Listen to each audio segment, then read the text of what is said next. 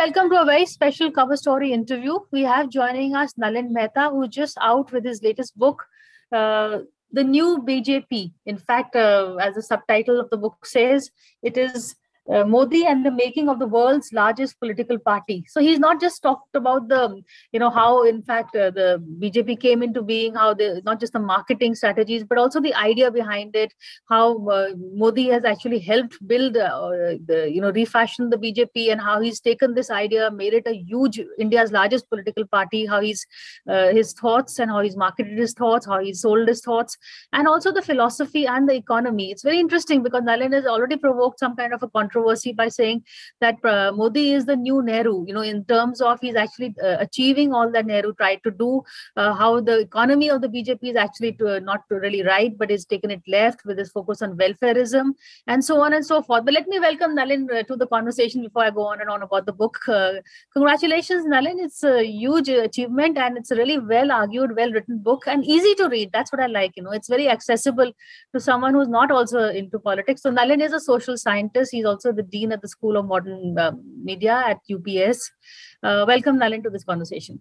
Thank you very much, Priya. Um, delighted to be here and, and to have a chat with you. Always followed your program. So lovely to be having this conversation here.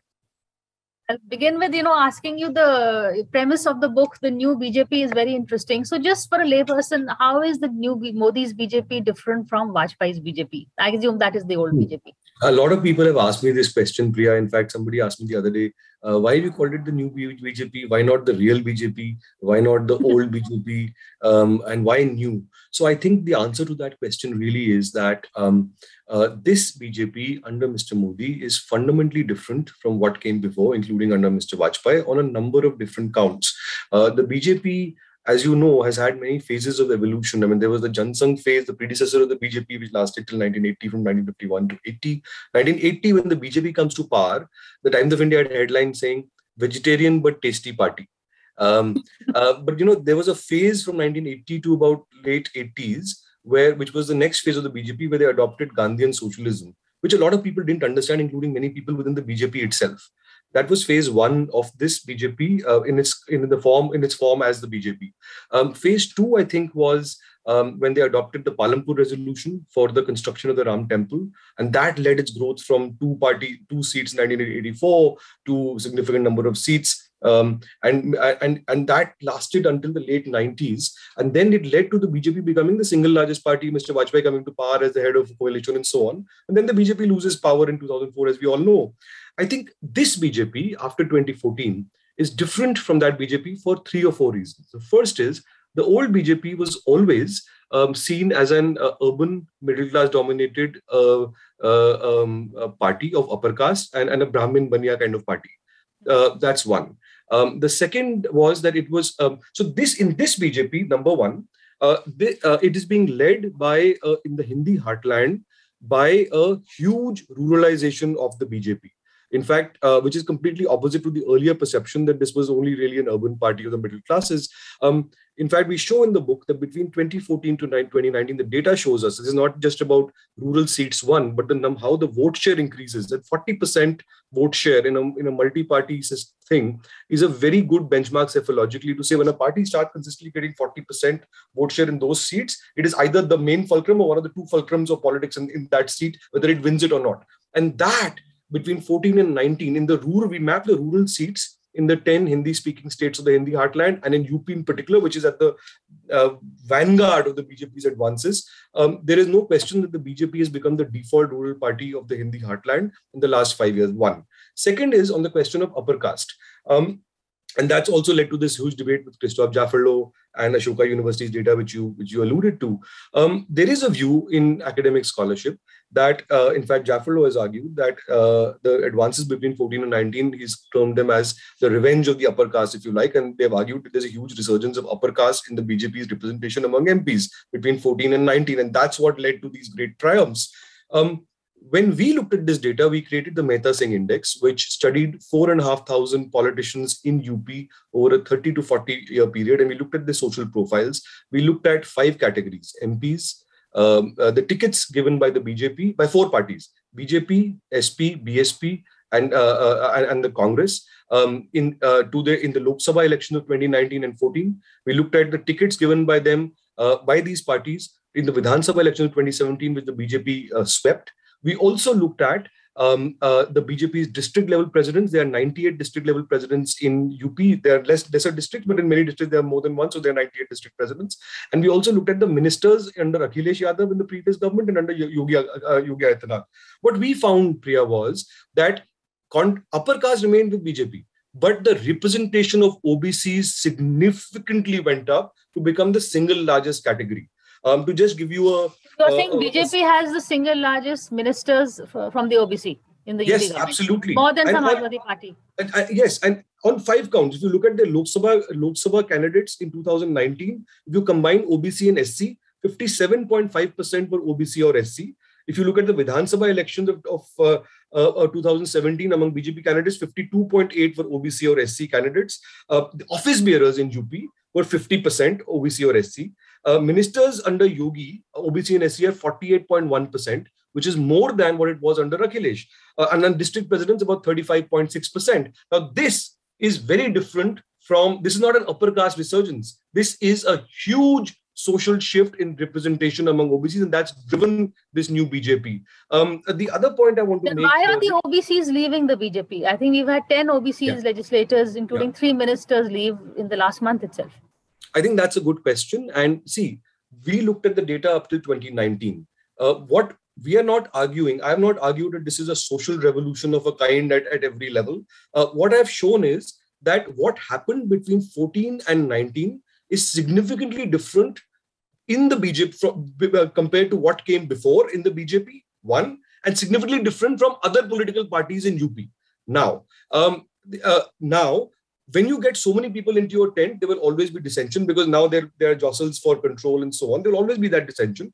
Um, the, but while you have seen some OBC leaders leaving the BJP and, and the BJP is now trying to, to make amends for that and, and, and trying to get other people in, the fact of the matter is this is not, you know, this is different from an earlier kind of politics for one reason because see earlier it's not like BJP didn't have OBC leaders earlier. Kalyan Singh was the first great OBC leader. Uma Bharti was OBC when the Babri Masjid were demolished. He was the chief minister of, of Uttar Pradesh. The earlier model was that you get these totem pole leaders, which is the older Congress model, and you assume that your larger community will then follow you and come come into the fold. In this model, what we have shown is this is not just about totem pole leaders. This is this goes down to representation, down to the lowest booth level organization. So the BJP, for example, has 21 member Karyakarinis at every level of organization, at the booth level, at the district level, at the state level, and so on and so forth. In each of these committees, in every district and at every booth, uh, they reserved seats about out of 21, five were reserved for women. And, uh, and another uh, nine or 10 were reserved for OBCs and SCs. So, what happens is that the dependence on the totem pole leaders therefore goes down. This is deeper than just getting these 10 leaders who make the headlines and if they leave uh, it, it, we should not automatically assume that when these leaders leave the entire obc base will go. Some of it will go yes but not all of it. And, and that, that is the big big difference qualitatively.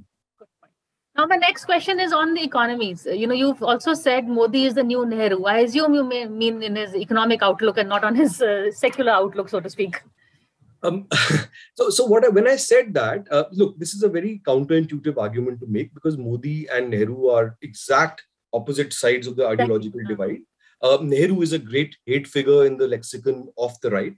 Uh, so let me explain what I mean by the comparison. I did not lexicon of the left. Yeah, uh, he's, he's the Nehru of the left, uh, or, or, he's the new Nehru of the right. That's what I meant. And on for five reasons, and I'll come to the economic point.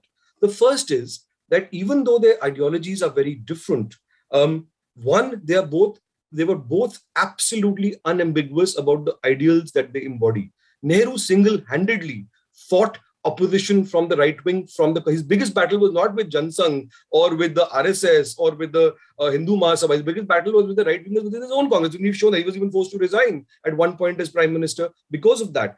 Mr. Modi, when he won his 2019 triumph, he said in his victory speech that we are unambiguous about it. I mean, he said it very clearly. That's one. Including on the question of secularism. Mr. Modi makes no bones about it including uh, including on the question of secularism and definitions of that. That's number two.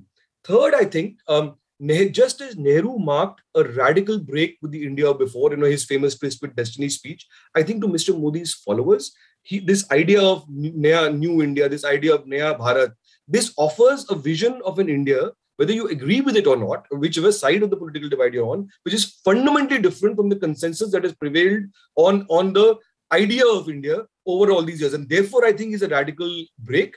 And, and because of the stature that he enjoys politically, um, it is comparable to Nehru.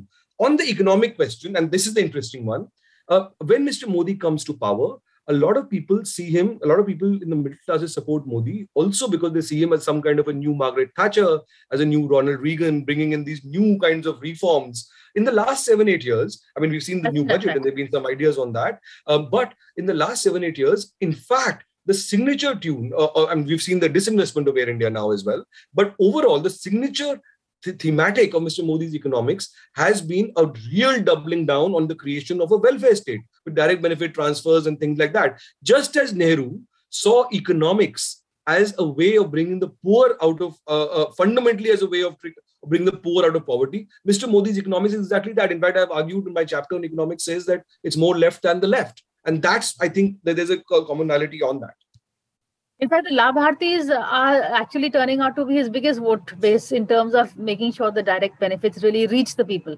But uh, in terms of um, you know the RSS uh, point of view, also the politics of it, uh, Modi is clearly delivering on all that the RSS wants. But uh, there is also a feeling that you know this autocratic Modi is that also what the RSS wants because RSS doesn't want to let go of control of the BJP also. So I think uh, the RSS uh, uh, BJP question is is you know uh, there is um, an umbilical cord, right? If you if you like, and I've got three chapters looking at the RSS BJP question, the representation of RSS uh, uh, numerically in in the ministers, both the state level government and the union government. Um, I think look, I think the power equation between the BJP and the RSS has shifted significantly. in elections in the past, the BJP was inordinately dependent on RSS cadres for mobilization what Mr. Modi has done is that he's built a cadre uh, uh, under his leadership and with Amit Shah as the party president and, and thereafter, they have built a cadre which is unprecedented in the democratic world.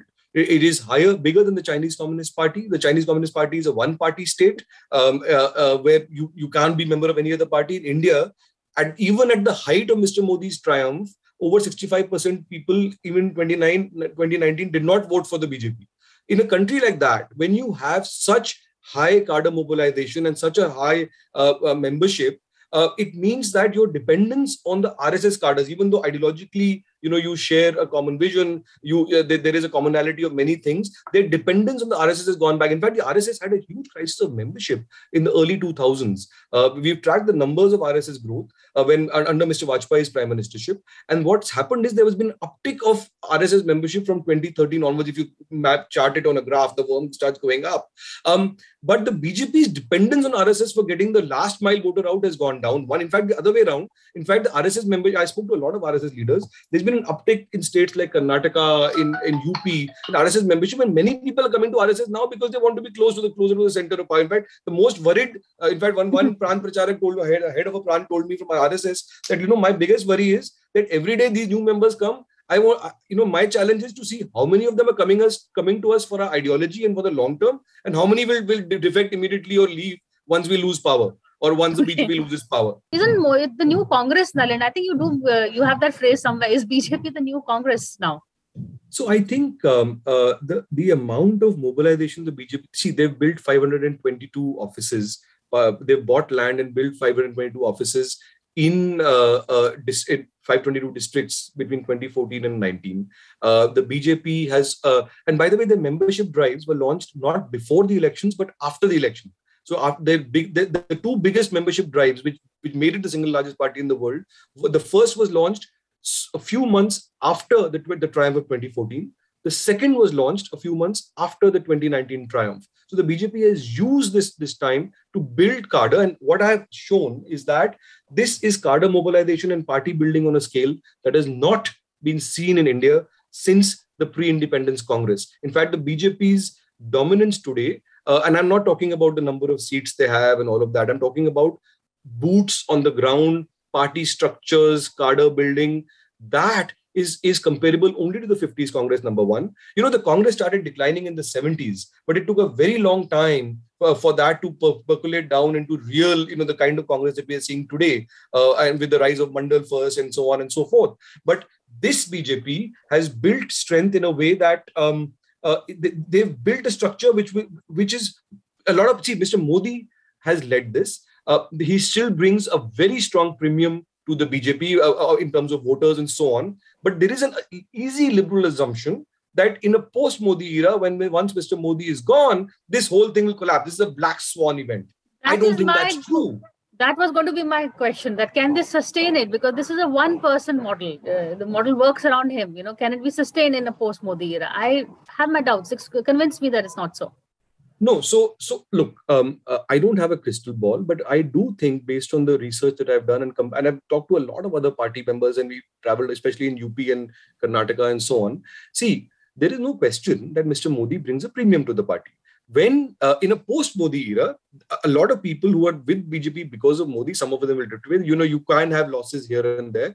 The point I'm trying to make is the structures they have built are are are are much stronger than one thinks. It's not just personality based because of two or three reasons. Because of the new social coalitions they have built, and they have been inserted at every level of the party, not just at the top for building Potemkin kind of villages. When the दो नेता चलेगा तो पूरी community चले जाएगी ऐसा नहीं है. And because of the beneficiaries, now you will have a have a downturn, yes, but I think this is much more durable than than than one thinks. Nalin, they're building, yes, they're building cadre, they're building booths, they're putting that. But what about building leadership? You know, Advani was known for building that second generation leadership. I don't see that happening uh, in Modi's BJP at hmm. all. So I think uh, uh, that's a very interesting question, Priya. So, you know, the BJP, as you said, always had these six state level satraps, uh, Vasundhara Raje in Rajasthan, uh, uh, Kalyan Singh earlier, Uma Bharati, then Shivraj Singh Prasad, uh, Shivraj Singh Chauhan, who's still the chief minister uh, uh, of Madhya Pradesh. Um, uh, if you look at the BJP's uh, state leaders, uh, chief ministers now, uh, very few of them can win elections on their own. I mean, uh, uh, in, in, the current BJP ruled states. However, you look at a leader like Yogi Adityanath. Yogi Adityanath is a five time MP from Gorakhpur.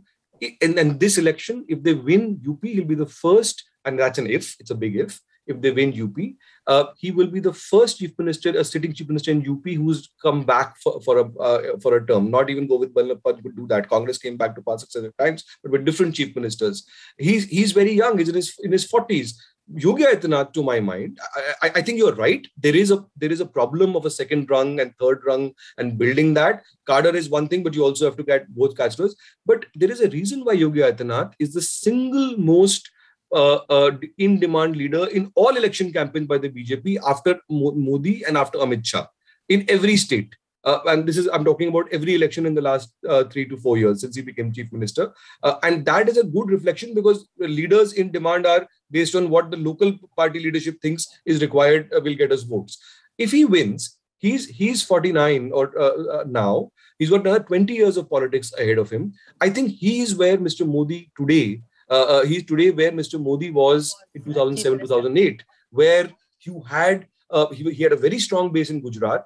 Many people in the even in the BJP had a, uh, you know were, had problems with it. The middle uh, classes outside Gujarat were, were not with him. Uh, the corporate classes were not with him. But that discourse changed after the 2000 election and, and started from 2012, 12 to 2009, 2010 onwards.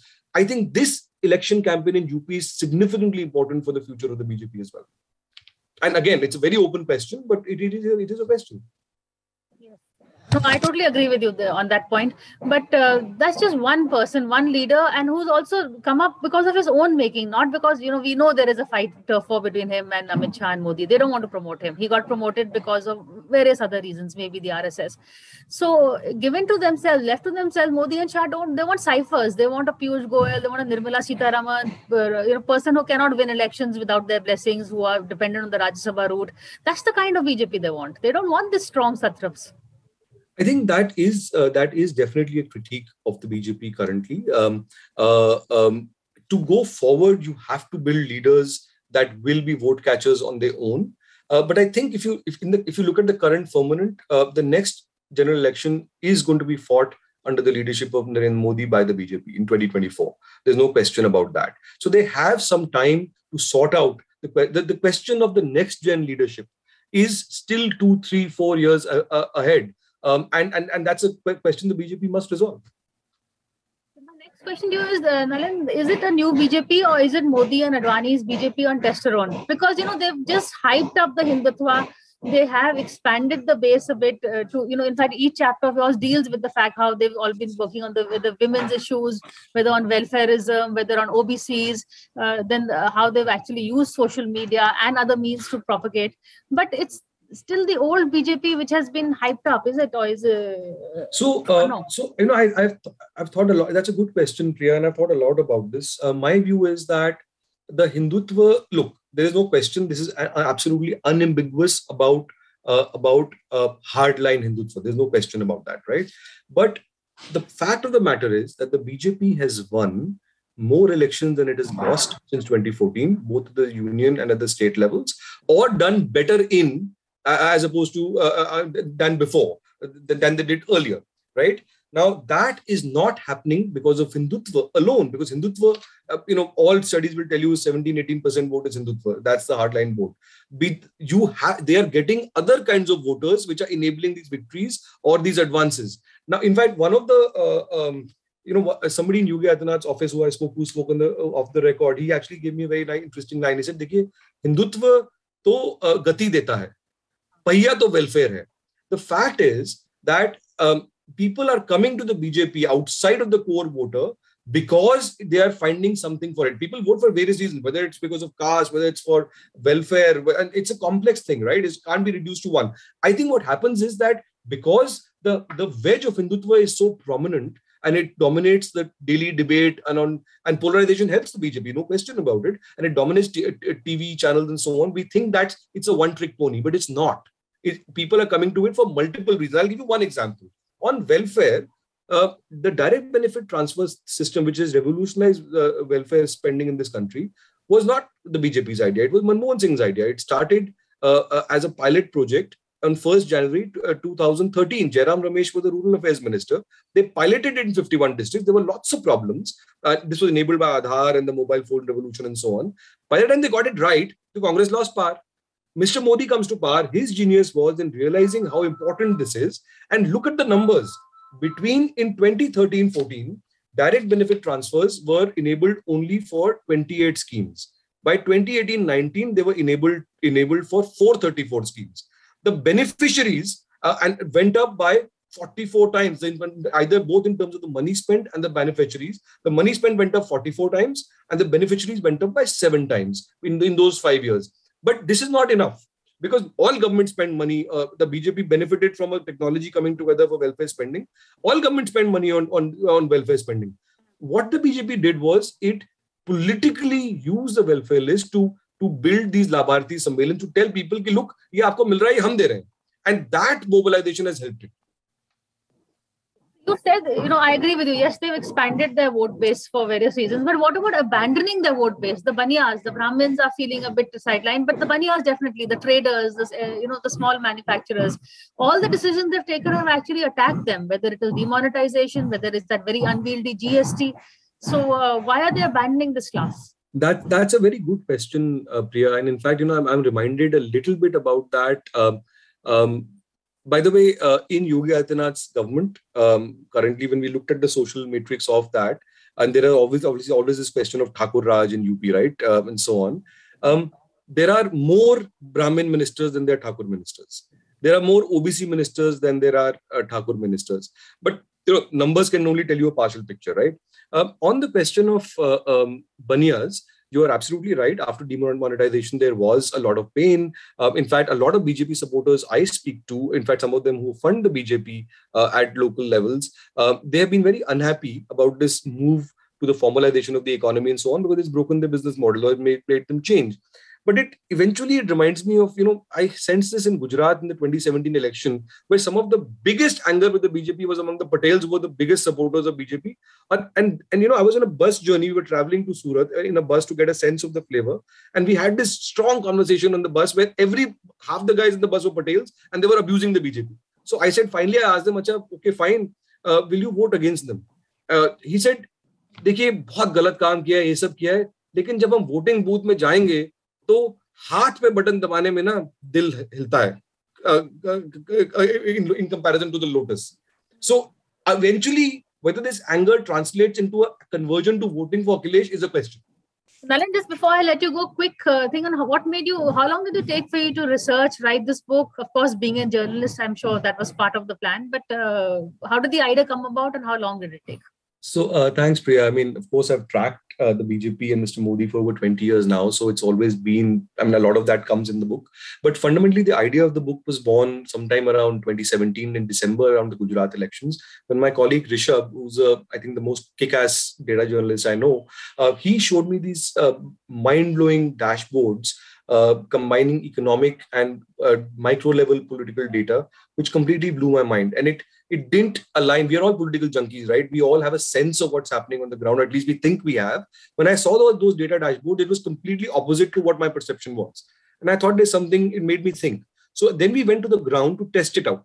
And it, it was borne out that this is actually happening on the ground. It's not just on some data set which is partial or misleading. We tested it out again in Karnataka in the elections of 2018 and then in the five states of the Hindi heartland in 20, 2018 in December. And then we said, okay, now there is something much deeper here that needs to be investigated. Um, and by the way, 80, 90% of what's in the book, um, I did not know before I started writing. And that surprised me. In fact, a lot of the findings I didn't believe myself when I first saw them. So we therefore we tested it and retested it and traveled a lot to recheck it on the ground um, first. So the actual writing I began. Uh, so we did all of that till 2019 the actual writing I began after the 2019 election results, so it took two years. Thank you so much for this book and wish you all the best with it. I know it's going to do really well. I certainly, for one, enjoy reading it. Thank you so much, Nalin, for this Thank you very much, Kian.